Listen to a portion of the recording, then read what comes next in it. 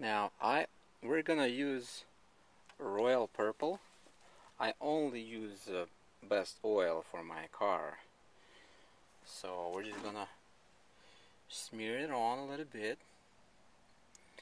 You know.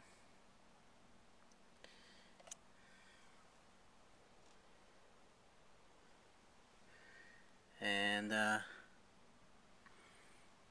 comes out purple.